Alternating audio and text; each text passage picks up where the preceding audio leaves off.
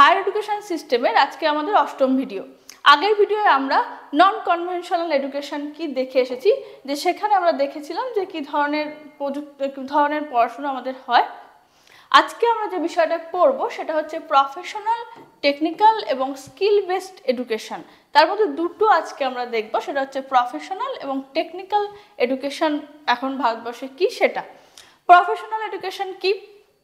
Professional education হচ্ছে যে ধরো আমরা এই যে বিএ করি মানে গ্র্যাজুয়েশন ডিগ্রিটা নিই বা এম এ ডিগ্রিটা নিই কলেজ বা বিশ্ববিদ্যালয় থেকে, তাতে আমাদের কি হয় যে, আমরা যে ডিগ্রিটা পেলাম, তারপরে আমরা নিজেদের মতো পেশা বেছে নিতে পারি। সেটা যে কোনো কিছু হতে পারে। আমরা, আমি যখন গ্র্যাজুয়েশনে পড়তে ঢুকছি, আমাদের কিন্তু ঠিক থাকে না যে, আমরা কোন পেশা ভবিষ্যতে বেছে নেব। আমরা ডাব্লিউবিসিএসে যাব বা ইউপিএসসি দেবো নাকি নেট দিয়ে কলেজ সার্ভিস কমিশন দেবো নাকি এসএসসি দেবো, এই জিনিসগুলো আমাদের কিছু ঠিক থাকে না। কিন্তু এমন কিছু এডুকেশন রয়েছে আমাদের ভারতবর্ষে যেগুলো প্রথম থেকেই একদম পেশাটাকে নির্দিষ্ট করে দেয়। এই যে জিনিসগুলো পেশাকে নির্দিষ্ট করে দিচ্ছে, যে পড়াশুনোটা প্রথম থেকে একদম এইচএসের পরেই যে যে পড়াশুনোটা আমরা করতে যাচ্ছি, ধরো কেউ ডাক্তারি পড়তে যাচ্ছে সে যখন প্রথমেই এইচএস এর পরে ডাক্তারিতে ঢুকছে, সে কিন্তু জানে সে ভবিষ্যতে ডাক্তারি হবে। বা যিনি আইন নিয়ে পড়াশুনো প্রথম থেকে শুরু করলেন, তার গ্র্যাজুয়েশন বা তার যে হায়ার এডুকেশন লেভেলের পড়াশুনো, প্রত্যেকটাই কিন্তু আইন সংক্রান্ত এবং ভবিষ্যতে তিনি কিন্তু কোর্টেই যাবেন। তার জীবিকাটা কিন্তু নির্দিষ্ট হয়ে যাচ্ছে। এই যে প্রথম থেকে এইচএস দেওয়ার পর থেকে আমাদের যখন একদম জীবিকা ওরিয়েন্টেড যে এডুকেশনগুলোকে আমরা নিতে শুরু করছি, তাকে বলছে প্রফেশনাল এডুকেশন সেরকম কিছু কিছু এডুকেশন সিস্টেম আমাদের ভারতবর্ষে চাল, রয়েছে তা, এবং সেগুলোর জন্য বিভিন্ন বোর্ডও রয়েছে। যেমন এই যে মেডিকেল কাউন্সিল অফ ইন্ডিয়া এটা কি হয় যে একদম ওই যে বললাম, যারা ডাক্তারি পড়তে যাচ্ছে, সারা দেশে যত ছেলে মেয়ে সেটা স্টেট গভর্নমেন্টের আন্ডারে মেডিকেল কলেজ হোক বা সেন্ট্রাল গভর্নমেন্টেরই হোক তা এদের যে শিক্ষা ব্যবস্থা, এদের যে সিলেবাস এদের যে পড়ানোর পদ্ধতি পুরোটাকেই ঠিক করে দেয় হচ্ছে এই মেডিকেল কাউন্সিল অফ ইন্ডিয়া তারপর আরেকটা যেটা রয়েছে, সেটা হচ্ছে dental council of India dental council of India কি? দাঁত দাঁত সম্পর্কে যারা পড়াশুনো করছে, দাঁতের বিষয়ে যারা পড়াশুনো করছে, তাদের জন্য রয়েছে কিন্তু একটা কাউন্সিল এবং সেটাও same state government central government দুটোই একদম ফিক্সড করে দেয়। তাদের সিস্টেম তাদের পড়াশুনো সিলেবাস সব কিছু এই dental council of India ready করে দেয়।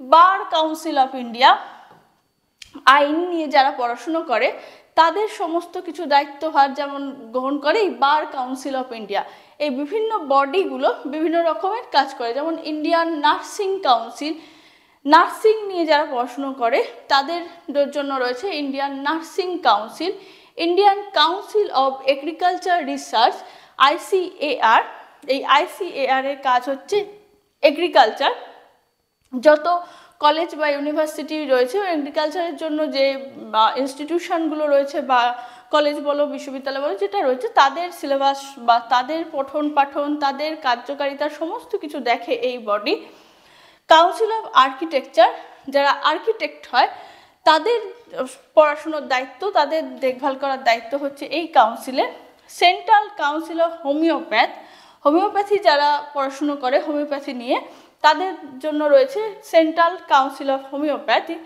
Central council of Indian medicine ওষুধ বা মেডিসিনস নিয়ে যারা পড়াশুনো করে প্রথম থেকে তাদের জন্য রয়েছে central council of Indian medicines. এছাড়া রয়েছে ভেটেরিনারি কাউন্সিল অফ ইন্ডিয়া মানে পশুদের সংক্রান্ত যে সমস্ত হসপিটাল বা ইনস্টিটিউশন রয়েছে, তাদেরকে নিয়ে যারা পড়াশুনো করে এই ভেটেরিনারি কাউন্সিল অফ ইন্ডিয়া, তাদের সিলেবাস বা তাদের পঠন পাঠন ইউনিভার্সিটি বা তাদের কলেজগুলোর দেখভাল করে। আর হচ্ছে pharmacy council of India pharmacy council মানে ফার্মেসির যে পড়াশুনোগুলো প্রথম থেকে যারা করে যারা ফার্মাসিস্ট হয়, তাদেরও দায়িত্বভার এই কাউন্সিল গ্রহণ করে। এই যে বিভিন্ন দশটা কাউন্সিলের কথা বললাম, এরা আমাদের ইন্ডিয়ায় যে প্রফেশনাল এডুকেশন সিস্টেম সেটাকে কন্ট্রোল করে এগিয়ে নিয়ে যায়। এই প্রফেশনাল এডুকেশন ছাড়াও আমাদের আরও একটা এডুকেশন সিস্টেম রয়েছে, সেটা হচ্ছে টেকনিক্যাল যেটাকে বলছি আমরা প্রযুক্তিবিদ্যা। এই প্রযুক্তিবিদ্যাতে আমরা জানি যে বহু ছেলে মেয়ে এইচএসের পরে ইঞ্জিনিয়ারিংয়ের দিকে চলে যায়। এই ইঞ্জিনিয়ারিং দিকে যারা যায়, এই প্রযুক্তিবিদ্যার দিকে যায়, তাদের এই যে ইঞ্জিনিয়ারিং যে ইনস্টিটিউটগুলো আছে আইআইটি হতে পারে আইআইটিএম হতে পারে যে কোনো যে, এই যে যেগুলো আছে, সেইগুলোকে কন্ট্রোল করে কারা? তাদের জন্য কিছু মানে ইনস্টিটিউশন বা গভর্নিং বডি রয়ে গেছে। এই গভর্নিং বডিগুলো এদেরকে চালায়। তার মধ্যে প্রথমে যে নামটা আসবে টেকনিক্যাল এডুকেশান সিনারিও ইন্ডিয়া এই যে যা সিনারিও ইন্ডিয়া এটা প্রতিষ্ঠা হয়েছিল প্রথম এইটিন ফর্টি সেভেনে মানে আমাদের স্বাধীনতার ঠিক একশো বছর আগে আমাদের এই টেকনিক্যাল এডুকেশনের যাত্রা শুরু হয়ে গিয়েছিল। এবং এটা প্রথম সিভিল ইঞ্জিনিয়ারিং কলেজ সেটা প্রতিষ্ঠা হয়েছিল রুড়কিতে এবং এইটিন ফিফটি সিক্স মানে ঠিক যে বছর আমাদের সারা দেশে তিনটে বিশ্ববিদ্যালয় গড়ে উঠছে, তার ঠিক আগের বছর নাইনটিন ফিফটি এইটিন ফিফটি সিক্সে কলকাতা, মাদ্রাজ এবং বোম্বে, এই তিনটে জায়গাতে এই টেকনিক্যাল ইনস্টিটিউট মানে খেয়াল করে দেখো ইউনিভার্সিটি বা বিশ্ববিদ্যালয় গড়ে ওঠার আগেই আমাদের টেকনিক্যাল ইনস্টিটিউট কিন্তু গড়ে উঠেছিল। এরপরে আমরা জানি যে একদম ওই ওই সময় পর্বে যে সময় স্বাধীনতা আন্দোলন চলছে, সেই সময় পর্বে আরও দুটো টেকনিক্যাল ইনস্টিটিউশন গড়ে উঠেছে। তার দুটোই আমাদের এই বাংলায়। তার মধ্যে একটা হচ্ছে যাদবপুরে এবং উনিশশো স্বাধীনতার কয়েক বছর যখন বাকি, সেই সময় গড়ে উঠল শিবপুর ইঞ্জিনিয়ারিং কলেজ এই যে জিনিস, যে যে ইনস্টিটিউশনগুলো করে উঠল, এই সিভিল ইঞ্জিনিয়ারিং যারা পড়াতো এরা কিন্তু সবই স্বাধীনতার আগে থেকেই আলটিমেটলি শুরু হয়ে গিয়েছিল এবং যখন আমরা আবার নাইনটিন ফর্টি সেভেনে স্বাধীনতা পেলাম, তারপর ধীরে ধীরে এই ইঞ্জিনিয়ারিং কলেজের সংখ্যা বা প্রযুক্তিবিদ্যার সংখ্যা মানে প্রযুক্তিবিদ্যা দেওয়ার যে প্রচেষ্টা, সেটা আরও আরও বৃহত্তর হলো এবং অনেক ইঞ্জিনিয়ারিং কলেজ গড়ে উঠতে শুরু করল। কারণ ভারতের যারা শাসনভার গ্রহণ করলেন এবার, যে ভারতবাসীরা, তারা বুঝলেন যে ভারত এমন একটা জায়গা যেখানে প্রযুক্তিবিদ্যাটার প্রয়োজন আছে। মানে যদি এই দিকে জোর দেওয়া যায়, যেহেতু ভারতবর্ষের ম্যান পাওয়ার অনেকটাই বেশি, সেই জন্য এখানে যদি এই দিকটায় নজর দেওয়া যায়, তাহলে এই জায়গাটা স্ট্রং করে তোলা যাবে। সেই জন্য প্রযুক্তিবিদ্যার দিকে বিশেষভাবে গুরুত্ব দেওয়া হয়েছিল। এই জিনিসটার দিকে নজর রেখে আরও কিছু কাউন্সিল গড়ে ওঠে, যেমন all India council for technical education AICTE এই এআইসিটি গড়ে ওঠে নাইনটিন এইটটি সেভেনে এই এআইসিটি এখনও পর্যন্ত এই টেকনিক্যাল এডুকেশনের দায়িত্বভার বহন করে চলেছে। এবং এর যে হেড অফিস সেটা অবস্থিত দিল্লিতে। আমাদের গোটা দেশে দশটা এআইসিটিইর হেড অফিস রয়েছে মানে মেনটা রয়েছে দিল্লিতে। তাছাড়া বিভিন্ন যে কার্য, যে সারা রাত দেশে যে কার্যটা চলে বা যে কাজকর্মগুলো করে বা ইনস্টিটিউশনগুলো দেখভাল করে, তার জন্য দশটা ওদের আরও অফিস রয়েছে। তার মধ্যে একটা আমাদের এই কলকাতায় রয়েছে। ওরা এই দশটা অফিস থেকেই বিভিন্ন কাজগুলো, বিভিন্ন এরিয়া বা জোনে কাজগুলো বা তাদের ইউনিভার্সিটি যা যা রয়েছে, সেই টেকনিক্যাল ইনস্টিটিউটগুলো কীভাবে কাজ করছে, তাদের পঠন পাঠন, তাদের মান উন্নয়ন সমস্ত দিকে তারা নজর দিয়ে থাকেন এরপরে আমরা আসব council of architecture COA COA প্রতিষ্ঠা হয় নাইনটিন সেভেন্টি টুতে নাইনটিন সেভেন্টি টুতে সিওএ প্রতিষ্ঠা হলো এবং এরাও তাই আর্কিটেকচার বা আর্কিটেক্টের জন্য যে সমস্ত ইনস্টিটিউশনগুলো রয়েছে, তার দায়িত্বভার গ্রহণ করে এরা। এই যে তিনটে কাউন্সিলের কথা বললাম, এরা একদম স্বাধীনভাবে গভর্নিং বডিটা চালায় এবং এদের নিজেদের কাজকর্ম একদম স্বাধীনভাবে চালায়। নেক্সট নেক্সট আমরা যে পাঁচটা ইনস্টিটিউশনকে দেখব, এই যে পাঁচটা ইনস্টিটিউশনকে দেখছ, এদের আগে যে তিনটে দেখে এলাম, তারা একদম স্বাধীনভাবে কাজ করে। মানে তাদের মাথার উপর কেউ কন্ট্রোল করছে এরকম নয়। কিন্তু এই পাঁচজনের ক্ষেত্রে একটু ব্যতিক্রম। এদের মাথার উপর আছে এমওই মিনিস্ট্রি অফ এডুকেশন এই মিনিস্ট্রি অফ এডুকেশন এদের এদের যে ক্রিয়াকলাপ বা এরা যে কী কী কাজ করছে, এদের আন্ডারে অনেকগুলো ভাগ আছে। এদের প্রচুর ইনস্টিটিউশন আছে দেশের নানান জায়গায় ইনস্টিটিউশন রয়েছে, কিন্তু তাদের সবার কাজটাকেই খেয়াল করে হচ্ছে এমওই যে এরা কী কাজকর্ম করছে বা কী বৃত্তান্ত। যাই হোক ইন্ডিয়ান ইনস্টিটিউট অফ টেকনোলজি মানে আইআইটি তোমরা জানো যে আইআইটির সংখ্যা আমাদের দেশে এখন অনেকগুলো। তো খড়গপুর, কানপুর, ভুবনেশ্বর, নানান রকম আইআইটি এখন দিল্লি, এই বিভিন্ন জায়গায় এখন আইআইটি হয়ে গেছে আমাদের। এই আইআইটিগুলো হচ্ছে যে একদম দেখবে যে যারা টপ লেভেল র্যাঙ্ক করে, তাদের আইআইটির জন্য আলাদা পরীক্ষা দেয় এবং সেখানে যারা একদম প্রথম সারির ছেলে মেয়ে তারা এই আইআইটিগুলোতে যায় এবং তারা শিক্ষা গ্রহণ করে থাকে। এবং এখন অবশ্যই এই আইআইটিগুলোর সাথেও কিছু সায়েন্স বা বিজ্ঞানকেও যুক্ত প্রযুক্তির সাথে সায়েন্স ডিপার্টমেন্ট কিছু কিছু যুক্ত করে দেওয়া হচ্ছে। এরপরে যে আইআইএম এর কথা বলব ইন্ডিয়ান ইনস্টিটিউট অফ ম্যানেজমেন্ট এই আইআইএমএস এই ইন্ডিয়ান ইনস্টিটিউট অফ ম্যানেজমেন্টের ভাবনাটা জওহরলাল নেহেরুর।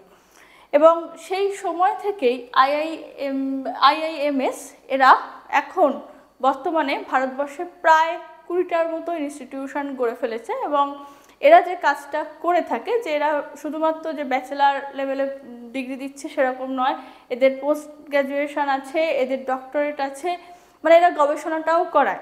শুধুমাত্র যে ওখান থেকে ম্যানেজমেন্ট কোর্স করে বা যে ডিগ্রিটা লাভ করা সেটুকু করল, বেরিয়ে এলো, এরকম নয়। এরা উচ্চশিক্ষাও প্রোভাইড করে। এখন অনেকগুলো এরকম আইআইএমএস হয়ে গেছে।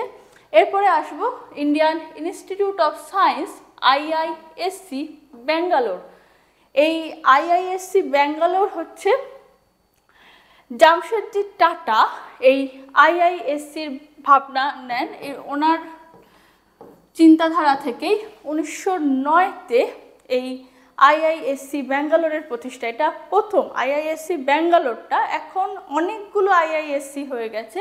সেগুলো নয়, একমাত্র ব্যাঙ্গালোর, সেটা দেশের প্রথম ডিমডি ইউনিভার্সিটি। আগের দিন আমরা ডিমডি ইউনিভার্সিটির কথা পড়ছিলাম না যে উডবি ইউনিভার্সিটি কাকে বলে? বা ডিমডি ইউনিভার্সিটি কাকে বলে? সেই ডিমডি ইউনিভার্সিটি প্রথম এই আইআইএসসি ব্যাঙ্গালোর। এর ভাবনাটা আগেই বললাম যে জওহরলাল নেহরুর এখন কলকাতাতেও একটা আইআইএসসি আছে, যদিও তার ক্যাম্পাসটা কল্যাণীতে, তবু কলকাতায় একটা রয়েছে, পুনেতে রয়েছে তিরুবন্তপুরমে রয়েছে, নানান জায়গায় আমাদের এখন আইআইএসসির ক্যাম্পাস হয়ে গেছে। এই আইআইএসসিতে কি হয়?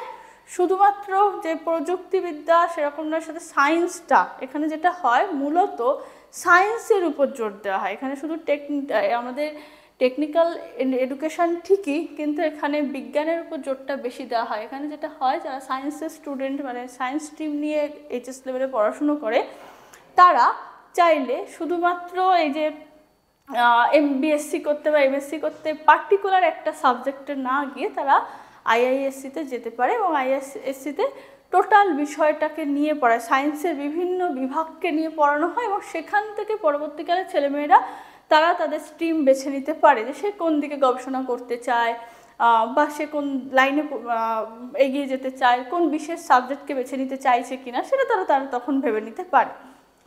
এরপরে আমরা যে ইনস্টিটিউশনের কথা বলব, সেটা হচ্ছে Indian institute of in information technology IIITS এই আইআইআইটিএস এরা এদেরও কাজ হচ্ছে যে একদম ইনফরমেশন টেকনোলজি নিয়ে পড়াশুনো করানো। মানে এদের যে বিষয়টা যে এরা তোমার এখন দেশে মোটামুটি পঁচিশটার মতো আইআইটি আইআইটিএস আছে, পঁচিশটার মতো ইনস্টিটিউশন করেছে। এরা ইনফরমেশন টেকনোলজি নিয়ে পড়াশুনো করায়। যে যে তথ্যভিত্তিক তথ্য প্রযুক্তি যে ব্যাপারটা, সেই তথ্য প্রযুক্তি নিয়ে এরা পড়াশুনো করায়। এবং যে এই যে পঁচিশটা ইনস্টিটিউটের কথা বললাম, এদের আন্ডারে আরও পঁচিশটা ইনস্টিটিউট আছে। তারা নানান জায়গায় রয়েছে এবং তারা সেখানে যারা ছেলেমেয়েরা পড়ে, তাদের যে সিলেবাস বলো বা যা কিছু, সেই সমস্ত জিনিসটাকে কন্ট্রোল করে এরা এই গভর্নিং বডি এইবার লাস্ট যে ইনস্টিটিউশনের কথা আমরা বলব, সেটা হচ্ছে এই NITTRS national institute of technical teachers training and research আমরা বিএড কোর্সের কথা আগে পড়ে এসেছি যে আমরা টিচার্স ট্রেনিং নিই বা এই যে আমাদের যে, আমরা জেনারেল লাইনে যারা পড়ছি, আমরা গ্র্যাজুয়েশন করি এম করি, অনেকে বিএড করে এম করে। এই তো এখানে আমরা কি করি? আমরা দেখি যে ইতিহাস, ভূগোল, বাংলা বিভিন্ন বিষয় সংক্রান্ত একটা বিএড করানো হয়, বা সায়েন্সের কোনো সাবজেক্টে ম্যাথামেটিক্স নানান সাবজেক্টে সোসিওলজি যাই হোক, সেটা হোয়াট এভার করানো হয়, তাই তো? এখানে যেটা করা হয়, এই যে টেকনিক্যাল ইনস্টিটিউটগুলো রয়েছে, সেখানকার যারা শিক্ষক, তাদেরকে প্রশিক্ষণ দেওয়ার জন্য এই আইআইটি টি টি আর এস এরা এই যে ইনস্টিটিউটটা সে বা এই যে গভর্নিং বডিটা সেটা রয়েছে। এদের এটা অনেক, এটাও কিন্তু যে খুব নতুন তা নয়, প্রায় উনিশশো পঞ্চান্ন নাগাদ এই ইনস্টিটিউশন গড়ে উঠেছে এবং এদের কাজ হচ্ছে এই শিক্ষকদের প্রশিক্ষণ দেওয়ায় যারা এই টেকনিক্যাল এডুকেশনের সাথে যুক্ত, পাঠদান করছেন, শিক্ষা দান করছেন, তাদের সাথে তারা তারা কীভাবে শিক্ষাটা দেবেন বা তাদের যে ট্রেনিং প্রসেস সেটা চালায় হচ্ছে এরা। এই হচ্ছে মোটামুটি এবং আবারও বলে দিচ্ছি, এই যে পাঁচটা নাম তোমরা দেখলে ইনস্টিটিউশনের কথা শুনলে, এই টেকনিক্যাল ইনস্টিটিউশনগুলো কিন্তু M O E ministry of education control করে। এদের মাথার উপর কিন্তু আছে। আগে যে তিনটে টেকনিক্যাল এডুকেশন টেকনিক্যাল এডুকেশনের জন্য যে তিনটে ইনস্টিটিউশনের কথা আমরা পড়ে এসেছি, তাদের মাথার উপর কিন্তু এমওই নেই। আজকে আমরা দুটো বিষয়কে দেখলাম। একটা হচ্ছে প্রফেশনাল এডুকেশন আর একটা হচ্ছে টেকনিক্যাল এডুকেশন আমাদের সিলেবাস অনুসারে এর সাথে আমাদের রয়েছে স্কিল বেস এডুকেশন এই স্কিল বেসড এডুকেশনটা কি?